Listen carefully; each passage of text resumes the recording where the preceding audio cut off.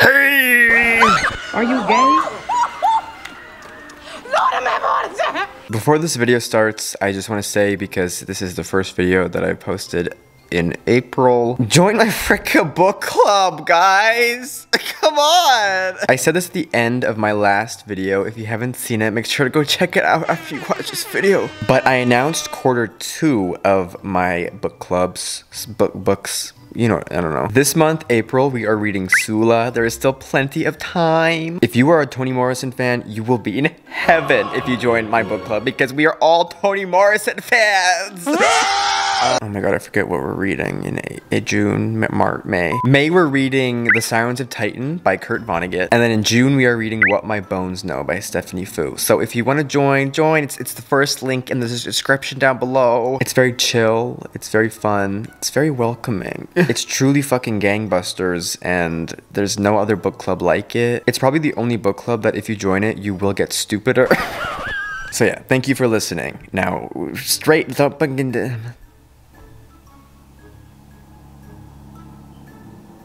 I don't know if you can tell, but I'm struggling a lot.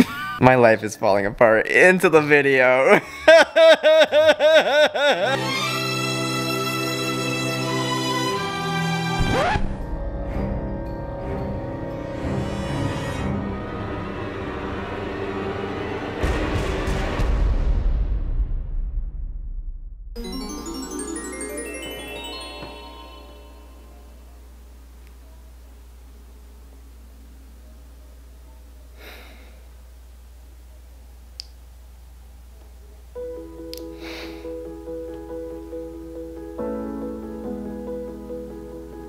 Hi. So I don't know if you've noticed, but I, I, haven't uploaded anything on here in like three weeks. And that is not for lack of trying. I'm trying and trying and trying. I filmed like four videos, edited a bit of them, but they just sucked balls gina. I have been sick. I've been sick both physically and mentally. Well, I, that's kind of constant. And I just haven't been feeling motivated or creative. But the other day I woke up and the birds were chirping. The sun was out. The kids were out in the street playing hockey, hockey ball. They're playing right now actually, but they need to shut the fuck up because I'm filming a video. And I'm here now to try my best to film another video. And I thought I would keep this video chill. My, my comeback, my long awaited, much anticipated YouTube comeback. Um, everybody's been on my ass asking me, Shawn, wh when you're gonna upload a new video? What's going on? Why have you been missing? Why do you look like that? Why are your hands so wet? Well, um, I'm here now. I decided to not overthink things too much. This is gonna be very chill, very chatty. About a year ago, I posted a video talking about my favorite books, and I recently returned to it, and I watched it, and I thought, wow, First of all, the quality. Yes, it was filmed on an iPhone. Any video I posted before like August of last year was filmed on an iPhone. And every time I watch my old videos, it, they genuinely sound and look like Hey everyone, welcome back to my channel.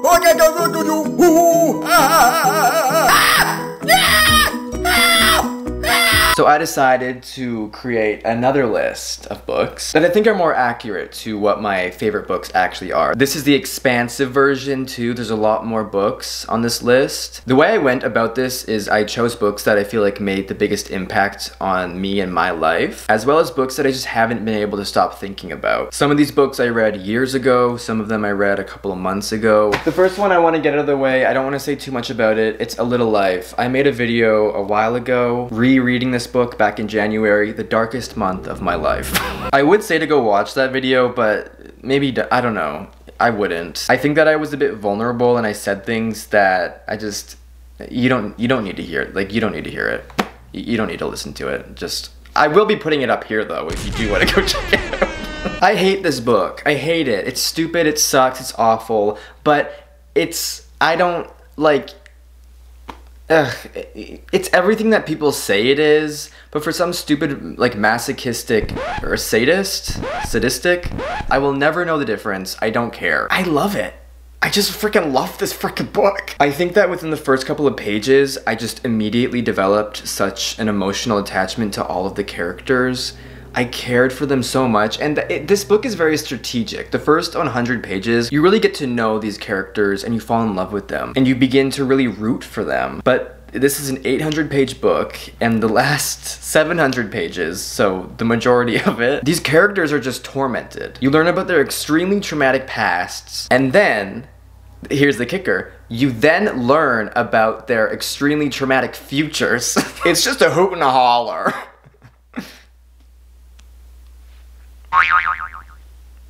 Um, it's a really strange book, and I think that if you're like a happy, like well-adjusted person, I fully understand hating it. I fully understand where people come from when they say it's like trauma porn. I think a massive reason why I do like this so much is the writing. I think the writing is so incredible. It has this way of being very casual, almost stream of consciousness, like a diary, but it also is just so masterful and each word is so intentional.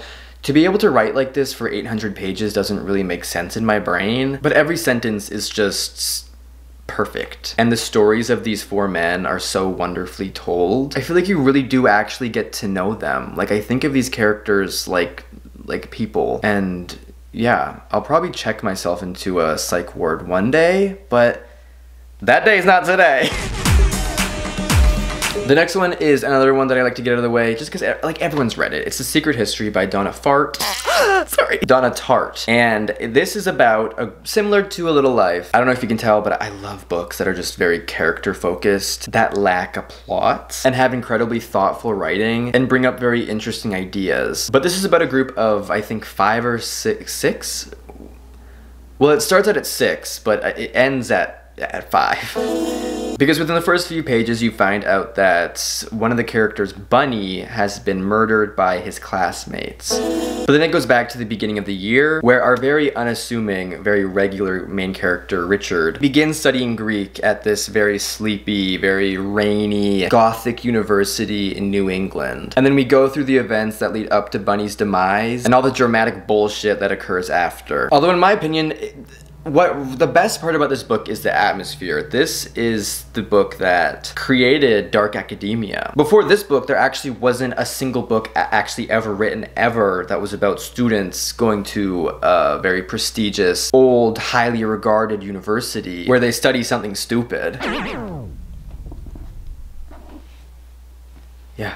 But I just really love this book. I love all of the bullshit. I love... Donna Tartt seems to go on a lot of side tangents that should be quite unenjoyable, but for some weird, strange reason, I just, I loved them. They were always very academic and about some very niche, esoteric thing. This eccentric group's professor would often explain Greek stuff that was very boring, but for some reason I just, I just loved it. And I think I loved it because you can tell that Donna Tartt is very passionate about it. And you can tell that it's something that she's very interested by. And I love when authors do that. I love when authors are very clearly interested in something and they infuse it into their story even if it doesn't fit. I just think it's so fun to listen to people talk about their passions, I guess. The next one is Braiding Sweetgrass by Robin Wall Kimmerer as well as Gathering Moss. Both of her books I, I love. Robin Wall Kimmerer is an indigenous woman woman. She is a member of the Citizen Potawatomi Nation. She also is an ecologist and a professor. And this is just a collection of essays by her, as well as Gathering Moss. Although the Gathering Moss is kind of more about moss, this is kind of just about everything. The full title is Braiding Sweetgrass, Indigenous Wisdom, Scientific Knowledge, and the Teachings of Plants. And I think that that couldn't describe this book, as well as Gathering Moss, better. Each essay is about either ecology and the natural world, or indigenous wisdom and history and the culture, but most of them are about both. You know, indigenous peoples, their culture and their way of living is all about reciprocity and caring so much for one another and oneself as well as the natural world and the plants and animals that exist within it and feed us and keep us alive. And this book has just impacted me in a way that I don't think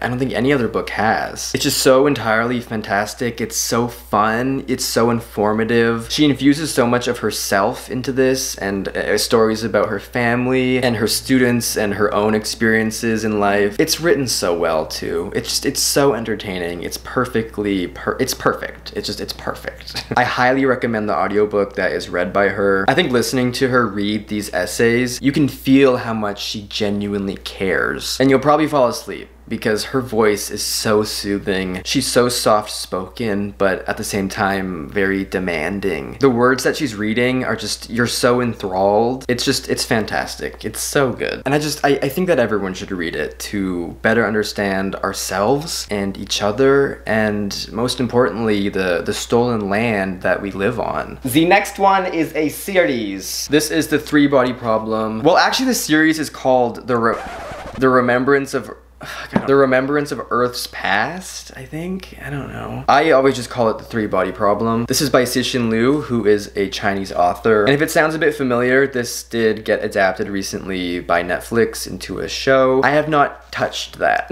when I heard that it was being adapted into a show, period, I was like, I don't I don't know how you can do that. This is just so big and so imaginative. I really didn't understand how it could be successfully turned into a show or even a movie. Like I, I, didn't I didn't get it. And normally whenever I hear that there's a book that I read that is being adapted into a show or a movie, I'm always so excited. But with this when I heard, I immediately was like, oh.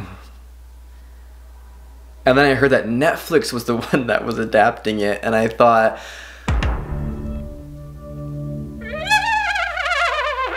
like HBO Max wasn't Prime wasn't like available or uh, no hate to Netflix though. If you want to put me in like a movie or a TV show, I'll I'll do it. fuck it, I'll do it. Um, I don't really even know what to say about this series. Every time I talk about it, I talk about it ad nauseum. This is about aliens um, invading, kind of. What I will say is the way that this series builds on itself with each book is really insane. Like, you read the first one, and you're like, holy fucking shit, what the fuck? Particle physics? Are you serious? I need to know everything about that. And it's just, it's so smart. It's so beyond anything I've ever experienced. The last one is like, who would do this? Like, who, uh, the gumption, the gall, the audacity to conceptualize the ending of this series and then execute it. So well too. Like so unbelievably well. But yeah it's about humans and society and the world earth and the universe and aliens trisolarans they're called. They live on a planet in the star system alpha centauri. It's a three body star system. That's why it's called the three body problem. And it's just it's erratic. It's not a good star system to live in because it is so chaotic. It's a real star system. Alpha centauri is the closest one to our star. It made me think a lot about us and the world. The second one especially, I was like, oh my god. I was like taking my glasses off, putting them back on, like, I see what you're doing here. You're making commentary on the very real impending doom that is climate change and how human beings are gonna react. I've got a few more sci-fi fantasy series on this list, but I moved like a year and a half ago and I think that I just lost a ton of books. The Broken Earth trilogy by N.K. Jemisin, fantastic. So good. The first one I think is the best, but the whole series is it, it's just so imaginative, so interesting. It contains a lot of commentary on like race and sexuality and gender. Also the Greenbone Saga by Fonda Lee. This series I always explain as like a mix of Succession and Lord of the Rings. Like high fantasy, lots of interesting magic and such, and um, like billionaire crime family doing business. They're doing lots of business. There's parts in this series that have like nothing to do with fantasy. Like there's no fighting, there's no magical powers being done. They're just like sitting in a boardroom talking about big money moves and such. I also have a standalone, The Sword of Kaigen by M.L. Wang. This book is so good. It is so fun. It will literally tear your heart into pieces. I love the setting. It's like on top of like a snowy, icy mountain. The story is so well thought out. The characters are so well written. I love a story about family dynamics and friendship and relationship dynamics. And this is very much so that. The next one is Patrick Patrick Radden Keefe. This is the only book that I have of his at the moment. Say Nothing, which I should apologize to Jill, if you're, if you're seeing this, who actually sent me a copy of Say Nothing. I gave that to my friend like immediately after reading it because I was like, bitch, you love Derry Girls, you need to read this. and she took it to Bolivia and I think she left it there. So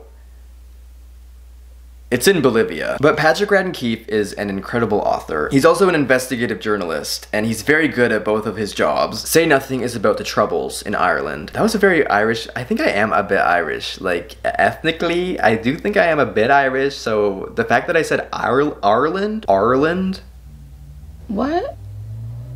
And Say Nothing just like intensively and masterfully chronicles the troubles, starting from the very beginning, I think in like the fucking 1920s. Patrick Radden Keefe is not fucking playing. He will dive into the records. Like in Empire of Pain 2, this is about the Sackler family who created OxyContin and essentially created the opioid epidemic that has killed, I believe, over like half a million people. But this family, the Sackler family, they really have their little grubby fingers in what led up to the opioid epidemic starting in fucking like the, the 20s. It was almost as if their ancestors were like clearing the path for their grandchildren and children to become billionaires by uh, getting people hooked on essentially heroin. If I were to choose my favorite between the two though, I do think I have to say Say Nothing. That was, it, it, the ending, he literally, okay, not to spoil anything, he solves a murder. Read this fucking book, bitch. He himself, allegedly, he solves a murder, okay? the fuck else do you want? Like, what more do you want? The next one I have here is Hidden Valley Road by Robert Kolker. This is about a family, Don and Mimi Galvin in Colorado. They have 12 children spanning from 1945 to 1965. They have 10 boys and 2 girls. What a fucking nightmare for those girls. But out of the 10 boys, 6 of them are diagnosed with schizophrenia. But this specific family was like monumental in developing our understanding of schizophrenia. I mean, if you think about it, We've got 12 kids half of them are diagnosed with schizophrenia. This is like a psychologist's wet dream. Like, they're able to study this group of 12 kids who biologically are the same. They grew up in the same house with the same set of parents in the same environment. I mean, it's just, a, it's a clear path for a psychologist to set up a control group, and they'd be able to go down this list of factors as to what led to this group having schizophrenia and this group not. It also is so interesting. These books, I know they're nonfiction, but they read like fiction. This one I find so interesting because it's about like American culture. They were a very traditional family who cared a lot about appearance. So half of their children developing schizophrenia felt like quite a stain on their reputation. I feel like I learned so much, clearly.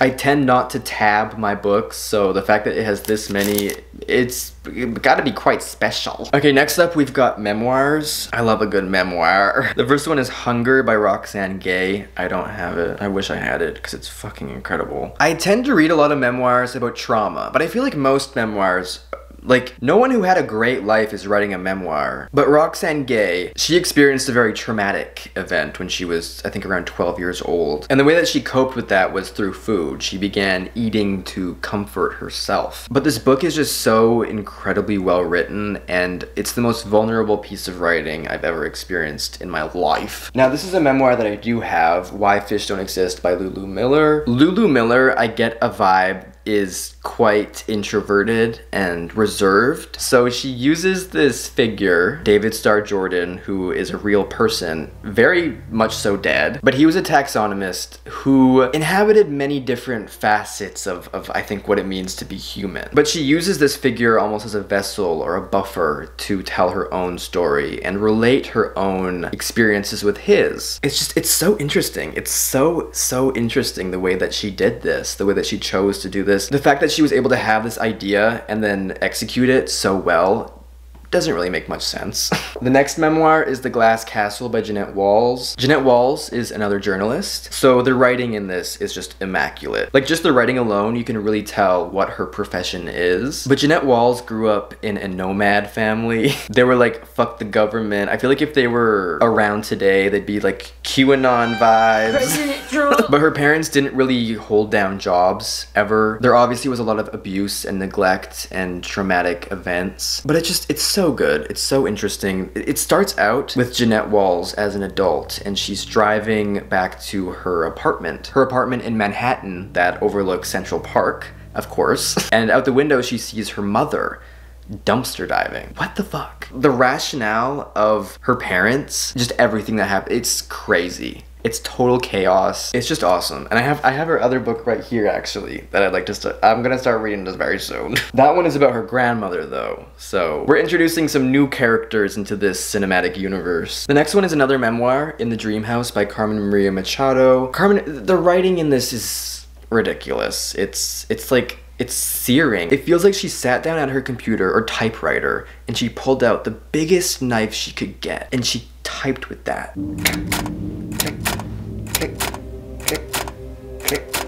But this memoir mainly revolves around this sapphic relationship that Carmen was in with this very abusive woman. But it's just, it's so great. It's so fucking good. Just as a piece of, of writing, as a piece of literature, it's it's art. Okay, these next two are not really even mem, mem they're kind of memoirs. They're memoir adjacent. it's The Idiot by Elif Batuman as well as Either Or. This is about Selin, who is a character fictional, kind of. This is very much so based off of Elif Batuman's own life. Selin is the daughter of Turkish immigrants, and she is studying Russian literature at Harvard University. As I said before, I think I was talking about The Secret History, I like books that contain balderdash. I love books that very obviously the author has infused themselves throughout, especially seemingly random stuff that they're kind of just passionate about. But through this series, you are following Selin, just kind of trying to figure out life and figure out who she is and where her place is in this world. I just have so much fun with them. And when I read this first one, I fully thought it was just gonna be a standalone. But this chronicles Selin's freshman year at Harvard. Bitch, you guessed right. This shit chronicles her sophomore. I'm Canadian, so we don't say that shit. sophomore year, her second year at Harvard. And I cannot wait for her junior year. They are so fun. They are so pointless. The next one is a collection of poetry. It's Dreamwork by Mary Oliver. I fucking love Mary Oliver. I've read several other poetry collections by Mary Oliver, but this just is, is by far my favorite. But yeah, her poems are just kind of about being gay and uh, nature and God. Probably my second favorite poetry collection from her is Felicity, and that one is about God. Not God in a, traditional sense. She's fucking dope as fuck. She's not, sorry, not saying that. If, the poems are about what God is to her and what and who she understands God to be. The next one, as I said, I love Toni Morrison, and it, uh, uh, The Song of Solomon is probably my favorite Toni Morrison book. Um, not probably, definitely. I dog-eared so many, like, I just, I don't understand. I don't get how Toni Morris, like, I don't understand. There's some people who just write words and, and, and turn them into sentences and then they turn them into paragraphs and then they turn turn them into like whole pages and then they turn them into a whole fucking book and it's like how did you do that did you write like that for so long? How were you able to be so intentional and and charismatic with your words? That's what this is and that's what all of Toni Morrison books are. They're so fun. There's like there's they're always quite serious and dark, at least the subject matter, but they're always so funny and there's so much personality in them. The characters are so in this book they're so eccentric and odd and the setting is odd and the, this book contains quite a bit of very random and I say random because it, it really does come out of nowhere. There's a bit of magical realism, but I think mainly at least the books that I've read from her they are about race and what it means to be black in America and the experience of growing up black in America, especially the time that Toni did. I believe Toni was born, I believe she was born in the early 1900s. Yeah, she was born in 1931. So this book is set in the 50s, so there's mention of like Emmett Till, but ultimately this one is just about family. I said before, I, I love books about family dynamics, the drama, the family history, the relationships and secrets within this fucking family it is like so juicy. There's almost like a, a treasure hunt in this. It's so like it's undescribable. It's so incredible. I think everybody should experience it because it's so weird and wacky, but it also will like make you cry. There's nothing like it and there's no one like Toni Morrison. The next one I put on this list to be pretentious, this is Crime and Punishment by Fyodor Dostoevsky. Although I do, I, I do really do love this book. I, I was just kidding about the pretentious part. Although what more is there to say about this book? It's about uh, our main character Raskolnikov, who within the first few pages commits a very senseless murder. And then we essentially watch Raskolnikov deteriorate into madness. He's very guilty, and he's also very paranoid of being caught. I think what I love most about this though is the atmosphere. For some reason, and I need to know if anyone else experienced this too, but the atmosphere was so colorful. Like it was so vibrant, and every character besides Raskolnikov was so eccentric. But then in the center of it all was Raskolnikov, who was just this ball. He was this pit of darkness. But all this vibrancy leads up to the end, which turns very bleak and matches Raskolnikov's energy. I think that these Russian classics that are fucking huge. They, for me at least, are quite daunting, but when you get into them, it, they're just, they're fun. It's so fun and so readable too. The last one I have here is S, a novel about the Balkans by Slavenka Drak.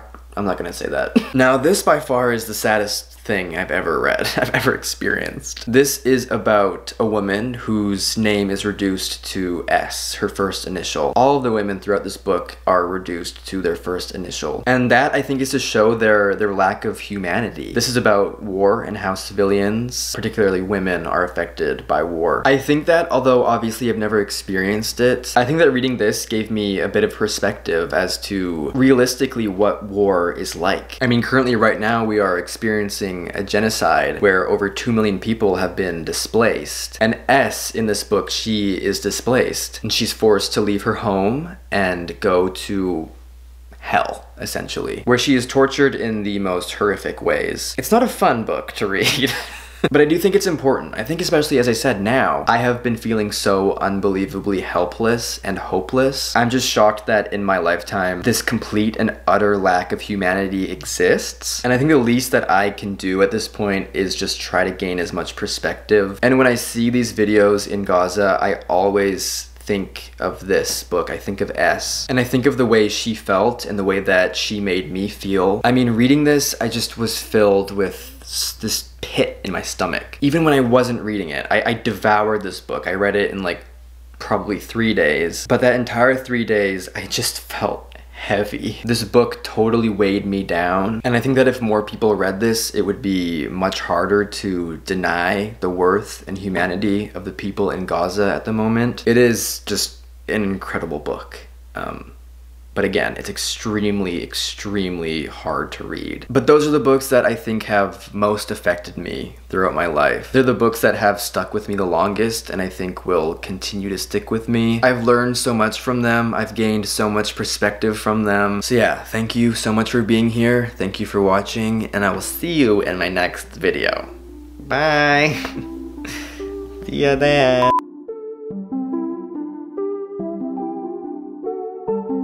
Begins to study Greek. Oh my god, I can't do this. I don't have like a my brain is not here. Begins to study Greek at this very